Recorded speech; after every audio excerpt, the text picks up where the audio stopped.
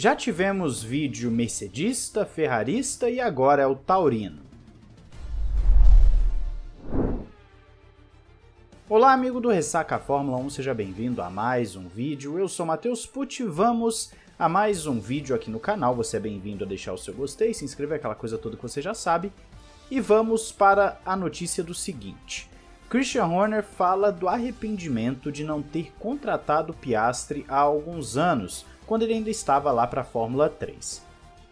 Em matéria que você confere na descrição, Horner fala que ele pilotou pela Arden na Fórmula 4 e Fórmula Renault e obviamente era um talento significativo. Houve uma oportunidade para a Red Bull olhar para ele nesse momento e não escolheram essa opção, algo do qual ele se arrepende. O que ele conseguiu é fenomenal, principalmente na Fórmula 3 e Fórmula 2.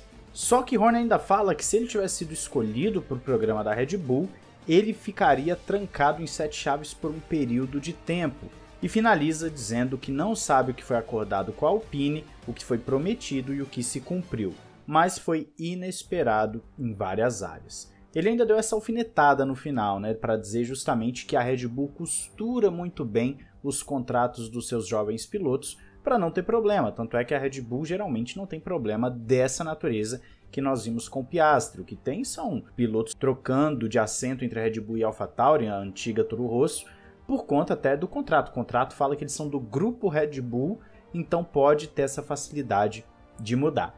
E por mais que o programa da Red Bull hoje não tenha ninguém pronto para entrar numa eventual vaga na AlphaTauri, que pode aí o Gasly sair da equipe, Horner fala que seguem investindo na juventude, tem alguns jovens geniais no programa desde o kart até a Fórmula 4 em diante, e crê que é algo que a Red Bull está fazendo muito bem, dando a essas crianças uma oportunidade, investindo em jovens talentos e a oportunidade de modo que eles não teriam em circunstâncias normais. Então ele faz questão de ressaltar a importância do programa Red Bull, que é o mais bem sucedido da Fórmula 1 hoje, nenhuma outra equipe do grid atual tem um programa tão bem sucedido. A Red Bull tem sete pilotos que passaram pelo seu crivo no grid, então dá para ver que sim, estão fazendo um bom trabalho. Mas qual a sua opinião? Valeu a pena não ter contratado Piastri ou era melhor ter contratado? O que você teria feito? Acha que foi vacilo, que não foi? Ou é o tipo de coisa que acontece já que não dá para contratar todo mundo, todos os grandes talentos? Diz aí nos comentários. Há pouco tempo falamos sobre a Red Bull não ter mais a sua parceria com a Porsche e que poderiam fazer uma parceria com a Honda em termos de baterias, já que Christian Horner deixou bem claro que não iam mais voltar com aquela parceria antiga da Honda, porque não fazia sentido. Eles têm a Red Bull Powertrains e por conta disso não faria sentido entregar tudo para a Honda. Só que saiu uma nova matéria confirmando isso e dando mais detalhes. Christian Horner falou ao Speed Week que quando a Honda saiu da Fórmula 1, eles mudaram o seu foco e a atitude e decidiram construir os motores sozinhos, que estava associado a um risco claro. Então, uma parceria com uma companhia fantástica como a Porsche foi considerada e é o que fazia sentido. Ao mesmo tempo, conseguiram atrair engenheiros altamente qualificados, que estão entre os melhores da F1 para o projeto de motor. Estabeleceram a fábrica em 55 semanas e já tem o primeiro V6 na bancada de testes, que é algo também que a gente já tinha comentado aqui. Horner continua falando que desenvolveram sozinhos e acreditam que têm habilidade para seguir o próprio caminho, a Porsche poderia ter feito sentido, mas teria mudado significativamente a identidade da equipe. No futuro, serão apenas eles e a Ferrari construindo carro e motor no mesmo local, o que é um próximo capítulo interessante. Quanto à Honda, Horner fala que a saída da Honda foi justificada pela eletrificação, o que também já comentamos aqui, mas que seria lógico e interessante discutir a nova situação com a Honda, mas não é uma urgência, e essa parte da urgência é bem interessante porque para a Honda está sim sendo uma urgência. A Honda está querendo fechar uma parceria com a Red Bull, ela não quer fechar com outra equipe, está buscando a Red Bull porque é uma parceria de sucesso, uma equipe que é grande, que tem condições de vitórias e no final das contas seria muito bom para a marca Honda. Lembrando que se ela não tivesse saído, a marca Honda estaria extremamente exposta nas vitórias do Verstappen e estariam indo para mais um título.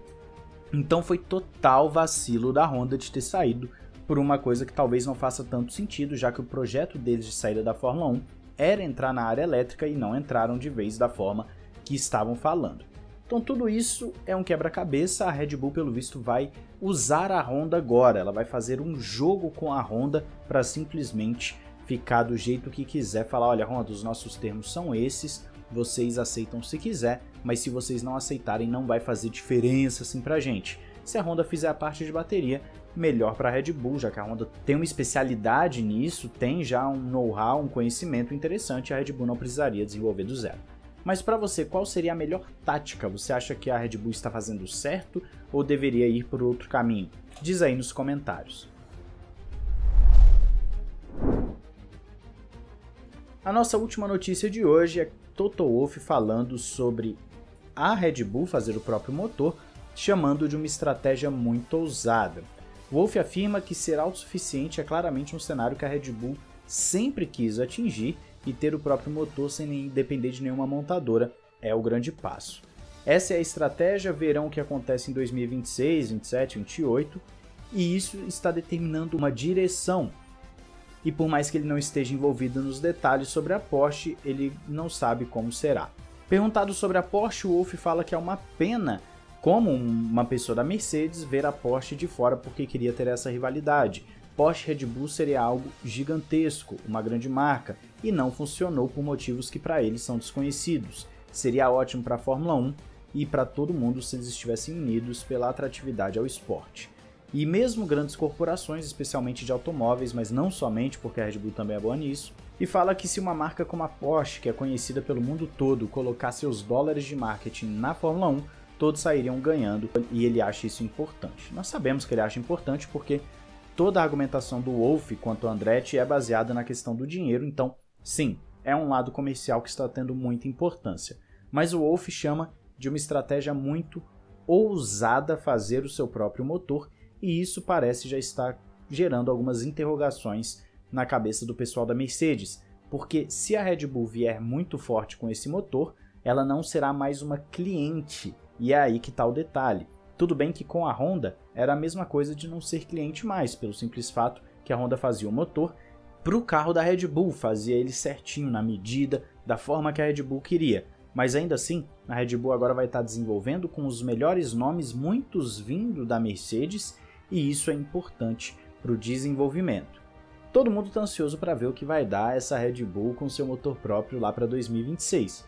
Mas vamos ter que esperar um pouquinho, falta um tempo, ainda temos 2023, 24, 25 para poder ver quem vai ganhar títulos, quem vai vencer e muita coisa pode acontecer até lá, pelo simples fato que a Red Bull pode dominar ou pode deixar de dominar a Fórmula 1 e ter uma mudança de chave, o motor pode sair ruim. E a Porsche tinha um conhecimento muito forte, ela tem na verdade, né, ela não deixou de ter um conhecimento muito grande no novo regulamento por conta dela já fazer grande parte do que está no regulamento em outras categorias e no final das contas a Red Bull vai ter que desenvolver isso do zero. Mas é isso, quero saber a sua opinião aí nos comentários. Não esqueça de se inscrever e ativar o sininho para não perder nenhum vídeo. Tem o nosso Ressaca F1 Express também com os cortes aqui desse canal para você não perder nada. Um grande abraço, valeu e falou!